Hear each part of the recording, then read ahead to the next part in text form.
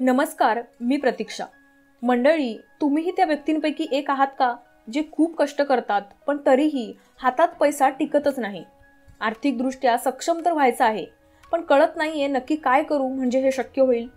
हे आणि असे इतर बरेच पैशांसंबंधित प्रश्न तुम्हालाही भेडसावत असतील तर हा व्हिडिओ तुमच्यासाठीच आहे.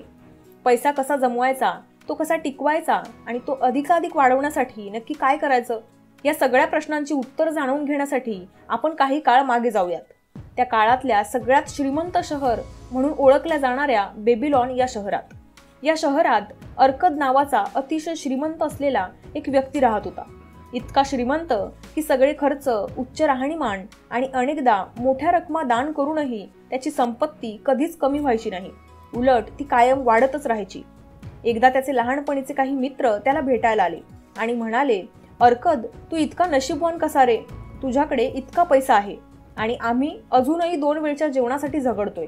तू मात्र पंचपक्वान खातोस महालात राहतोस महागडे कपडे वापरतोस तरीही तुझी संपत्ती किंचितही कमी कशी होत नाही. या उलट आम्ही मात्र या गोष्टींचा साधा विचारही करू शकत नाही. हे कसं शक्य आहे? कारण आपण लहानपणापासून एकाच शाळेत शिकलो सारखेच खेळ खेळलो त्यावेळी तर तू कधी आमच्या पुढेही नव्हतास. तुझ्यात स्पेशल टॅलेंटही नव्हतं. आपण मेहनतही सारखीच केली. मग असं का? तू असं काय वेगळं केलंस ज्यामुळे आज तू इतका श्रीमंत आहेस? तू तुझी सिक्रेट्स आम्हाला सांगू शकशील का? आता हा अर्कद जरी श्रीमंत असला तरी तो गर्विष्ठ मुळीच नव्हता. त्याचे पाय जमिनीवर होते. त्यामुळे तो त्याची सगळी सिक्रेट्स मित्रांना सांगायला तयार झाला. आणि पुढचे पाच दिवस त्याने पाच सिक्रेट आपल्या मित्रांना सांगितली जी त्याने स्वतः एका श्रीमंत व्यक्तीकडून शिकून घेतली होती. आणि आजही तो ती सगळी सिक्रेट्स नित्य नियमाने पाळत होता. आता त्यातलं पहिलं सिक्रेट होतं पे युअर सेल्फ फर्स्ट आता तुम्ही म्हणाल मिळणारा पगार किंवा होणारा नफा आपल्या आवडत्या व्यक्तींवर आवडत्या गोष्टींवर खर्च करणं म्हणजे स्वतःला पे केल्यासारखंच आहे ना? नाही ते तसं नाही आहे पे युअर सेल्फ फर्स्ट याचा अर्थ आहे महिन्याच्या शेवटी जी रक्कम तुम्हाला मिळते त्यातली दहा टक्के रक्कम बाजूला काढून सेव्ह करणं.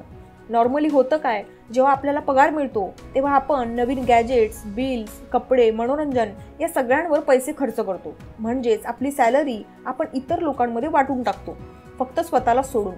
अर्कद म्हणतो व्यक्तीला दहा हजार पगार असेल किंवा दहा लाख पण त्या व्यक्तीने पगाराचा दहावा भाग लगेच सेव्ह केला पाहिजे. आणि हे केव्हापासून सुरू करायचं? तर जेव्हापासून तुम्ही कमवायला लागाल तेव्हापासूनच. आता या सेव्ह केलेल्या पैशांचं काय करायचं? तर ते पैसे तुम्ही एखाद्या चांगल्या गोष्टीत इन्व्हेस्ट करू शकता.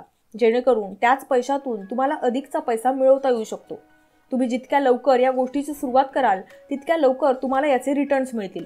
आता काही जण म्हणतील दहा टक्के पैसे वाचवणं कठीण आहे. कारण इतके पैसे तर वाचतच नाहीत. वेल या प्रश्नाचं उत्तर आपण अर्कतच्या दुसऱ्या सिक्रेटमधून जाणून घेऊयात. जो आहे लिव्ह बिलो युअर मीन्स आता इथे मी माझ्या मैत्रिणीचं उदाहरण घेते जी काही महिन्यांच्या अंतराने लेटेस्ट फोन विकत घेत असते. तिला असं वाटतं की असं करून ती लेटेस्ट टेक्नॉलॉजीला अडॉप्ट करते. पण हे करत असताना ई एम आयच्या हप्त्याने ती परेशानही होत असते. आता इथे सांगायचा मुद्दा काय? तर आपल्या गरजा आणि आपल्या इच्छा यातला फरक आपल्याला कळला पाहिजे. होतं काय? जेवढी आपली सॅलरी असते तेवढेच आपले खर्च सुद्धा असतात. तुम्ही एकदा स्वतःची लाईफस्टाईल जवळून पहा. तुम्हाला हे आढळून येईल की त्या लाईफस्टाईलमध्ये खूप असे खर्च असतात जे आपण पूर्णपणे टाळू शकतो. जेव्हा आपली सॅलरी पंचवीस हजार असते तेव्हा आपलं घर नीट चालतं. तेव्हा आपण विचार करतो की थोडा पगार वाढू देत मग मी सेव्हिंग स्टार्ट करेन. पण मित्रांनो जेव्हा आपला पगार खरंच वाढतो तेव्हाही आपण सेव्हिंग नाही करत. कारण वाढत्या सॅलरीबरोबर आपला खर्चही वाढलेला असतो. यालाच पार्किन्सन लॉ असंही म्हणतात. बरं मग आता या सगळ्यावर सोल्युशन काय? तर महिन्याचं बजेट बनवा. त्यात तुम्हाला समजेल की तुमच्या गरजा आणि तुमच्या इच्छा नक्की कोणत्या आहेत. आणि त्या समजून घेऊन मगच तुम्ही खर्च कराल. आता next make your money work for you पगारातली दहा टक्के रक्कम सेव्ह करणं ही फक्त एक पॉझिटिव्ह सुरुवात होती. पण ती नुसती सेव्ह करून भागणार नाही. तर त्या रकमेला आपल्याला कामाला लावायचं आहे. म्हणजेच योग्य रीतीनं इन्व्हेस्टमेंट करायची आहे. अर्कत त्याच्या मित्रांना म्हणतो जेव्हा तुम्ही एक सिक्का वाचवता तेव्हा त्या शिक्क्याला तुमचा गुलाम बनवा. जो तुमच्यासाठी काम करेल आणि तुम्हाला आणखीन शिक्के मिळवून देईल.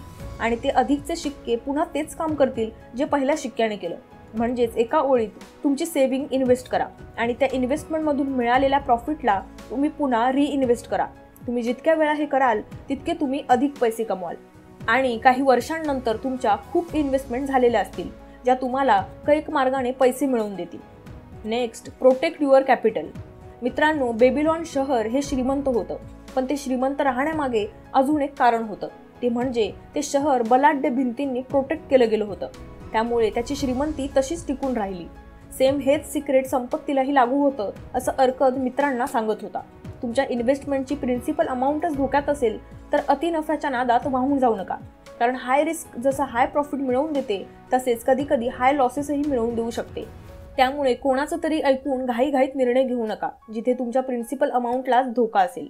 लक्षात ठेवा तुमची सेव्हिंग हा तुमचा खजिना आहे. त्या खजिन्याला फुल प्रोटेक्शन देणं हे आपलं पहिलं प्राधान्य असायला हवं.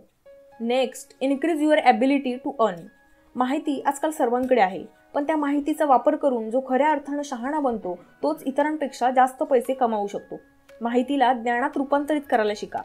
आता इथे आपण अर्कद आणि त्याचा मुलगा नोमसीरचं उदाहरण घेऊयात. जेव्हा अर्कद म्हातारा झाला त्यावेळी एकदा अर्कदने नोमसीरला बोलावून घेतलं. आणि त्याला म्हणाला मी गेल्यावर तुला माझी संपत्ती हवी असेल तर तू किती सक्षम आहेस हे तुला सिद्ध करून दाखवावं लागेल. अर्कदने नोमसीरच्या हातात एक सोन्याने भरलेली बॅग आणि एक लेटर दिलं ज्यावर फाईव्ह लॉज ऑफ गोल्ड लिहिले होते. आता या दोन गोष्टी घेऊन नोमसीर निनेवा नावाच्या एका शहरात पैसे कमवायला गेला. त्या शहरात त्याला दोन व्यक्ती भेटल्या ज्यांनी त्याला सांगितलं की या शहरात एक घोडा विक्रेता आहे ज्याच्याकडे असा घोडा आहे जो शर्यतीत केव्हाच हारत नाही. तू त्याच्यावर पैसे लाव तुला खूप पैसे मिळतील. नोमसीरने घोड्यावर पैसे लावले आणि तो घोडा शर्यतीत हारला. नंतर त्याला कळलं की ते दोघे व्यक्ती आणि घोडेस्वार धोकेबाज होते.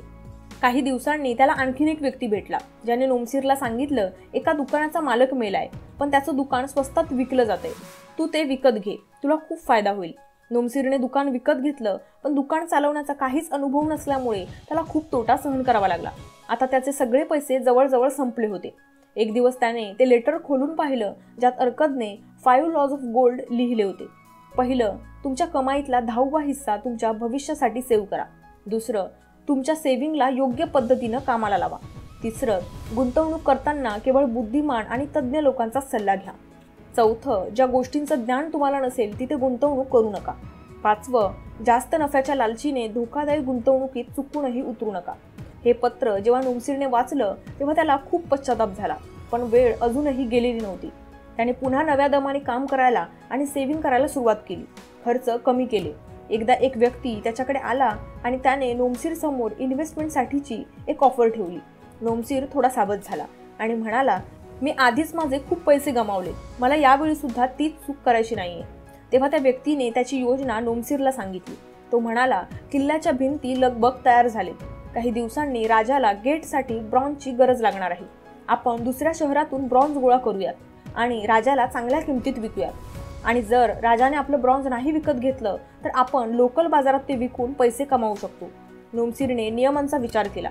त्याला ती गुंतवणूक योग्य वाटली म्हणून त्याने ऑफर स्वीकारली. आणि तो व्यक्ती बोलला तसंच झालं. यात त्यांना खूप फायदा झाला. नोमसीरने अशाच अनेक इन्व्हेस्टमेंट केल्या ज्या त्याच्या नियमात बसत होत्या. त्याला खूप फायदाही झाला. आता काही वर्षांनी तो पुन्हा आपल्या वडिलांकडे परतला आणि त्याने वडिलांना सगळं सांगितलं. आणि तो म्हणाला मी तुम्हाला सोन्याने भरलेली एक बॅग देतो जी तुम्ही मला दिली होती. आणि आणखीन दोन सोन्याने भरलेल्या बॅग्स देतो त्या लेटरसाठी जे तुम्ही मला दिलं होतं. कारण त्या नियमांशिवाय पैसा कमवला जाऊ शकत नाही. अर्कत खुश झाला आणि म्हणाला आत्ता खऱ्या अर्थानं तू माझा वारसदार शोभतो आहेस. अशा प्रकारे अर्कदने आपल्या मुलाला मित्रांना पैशाचे प्रिन्सिपल सांगितले. एकदा बेबिलॉन शहराच्या राजालाही अर्कसची गरज लागली. ती कशी? तर जेव्हा राजाला समजलं की आपल्या राज्यातही काही जनता अशी आहे जी खूप बिकट परिस्थितीत जगते आहे तेव्हा राजाने मंत्र्यांना विचारलं की हे असं कसं? लोकांकडे पैसा का टिकत नाहीये? यावर मंत्री म्हणाले महाराज लोकांमध्ये पैशाबाबत फारशी जागृती नाहीये. आपण अर्कतची मदत घेऊयात का? जेणेकरून तो त्याचं ज्ञान आणि अनुभव आपल्या जनतेसोबत देखील वाटेल. राजा आणि अर्कत दोघेही तयार झाले आणि एक दिवस जनतेला आमंत्रित केलं गेलं. आणि अर्कदने आपल्या संपत्तीची सगळी सिक्रेट्स लोकांना सांगायला सुरुवात केली. जी होती एक आपल्या पर्सला मोठं करा. मिळकतीतला दहावा हिस्सा बाजूला काढून ठेवा. दोन तुमच्या सवयी जाणून घ्या आणि बघा तुम्ही नक्की कुठे पैसे खर्च करताय. तीन तुम्ही सेव्ह केलेल्या पैशाला योग्य रीतीने गुंतवा आणि मिळणारं प्रॉफिट पुन्हा रिइन्व्हेस्ट करा. चार तुमच्या पैशाला प्रोटेक्ट करा. इन्व्हेस्टमेंट करताना दहा वेळा विचार करा नीट अभ्यास करा आणि मगच पाऊल टाका. पाच तुमची कमावण्याची क्षमता वाढवा. कारण तुम्ही जितकं जास्त कमवाल तितकं जास्त इन्व्हेस्ट करू शकाल. मंडळी आय होप तुम्हाला तुमच्या सगळ्या प्रश्नांची उत्तरं मिळाली असतील. तुम्ही यातले कोणते नियम आधीपासूनच पाळताय हे कमेंट करून नक्की सांगा. व्हिडिओ आवडला असेल तर लाईक करा शेअर करा आणि असेच अनेक माहितीपूर्ण व्हिडिओ पाहण्यासाठी आपल्या खजिन्याला सबस्क्राईब करा. भेटूया पुन्हा एका नवीन व्हिडिओत. तोपर्यंत वाचत रहा आणि वाचलेलं शेअर करायला विसरू नका.